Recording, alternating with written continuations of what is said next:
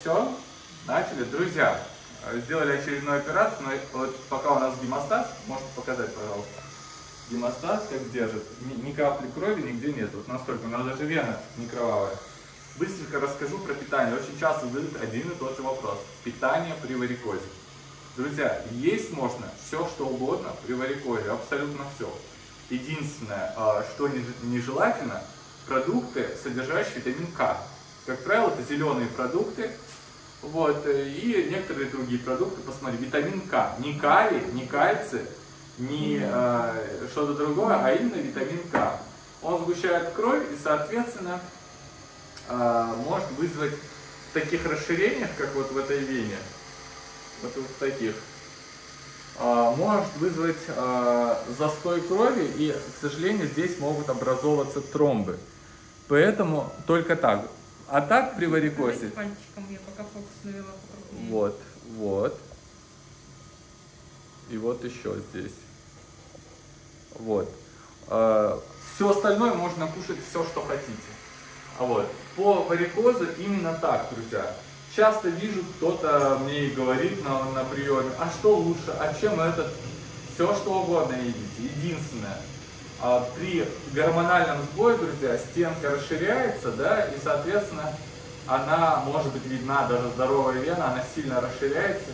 Вот, и продукты, которые там э, содержат жиры, они тоже не влияют. Хотя вот прерываю клетчатку. На что могут влиять вообще питание? На артерии, не путайте. Часто приходят. А нам сказали, что при варикозе это нельзя кушать. Ерунда, друзья. Вены к этому отношения не имеют. Только артерии. В артериях образуются бляшки, в артериях холестерин откладывается и так далее. Тромбы бывают и в венах, и в артериях. Вот чтобы не было тромбов, минимизируйте продукты с витамином К. Все остальное ешьте. Побольше воды, побольше двигаться и тому подобное. Поэтому э, питание, наверное, сейчас многих удивлю, а, потому что есть люди, которые держатся на правильном питании, вот эти диетологи, нутрициологи, кушать нельзя то, кушать нельзя все, какие-то соки, это ерунда. А, витамины, которые укрепляют стенку варикозной вены, это витамины группы С, витамины магния. Магний вообще при недостатке магния растяжимость растет, и кожа бывает дряблая и тому подобное. У нас, к сожалению, 40% пролапса митрального клапана в России. Он бывает еще такой функциональный, как сказать, то есть не патологический. Первая, вторая степень, оперироваться не нужно, это в сердце.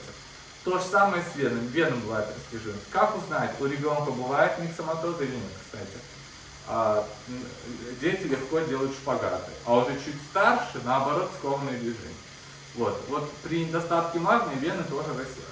А, поэтому ешьте продукты с магнием только в нормальном количестве, не надо переедать, потому что на, на другое что-то может сильно а, повлиять. На сердце, например, на нарушение ритма магния тоже влияет. Поэтому все нужно есть нормально, как мы обычно едим. Но не обжираться, друзья.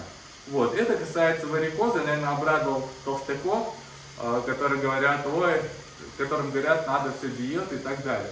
Диету надо, чтобы не поправляться, потому что если есть варикоз и вы еще ожирение, то, к сожалению, ожирение усиливает э, проявление варикоза. Само ожирение не является причиной варикоза, друзья. Вот такие особенности.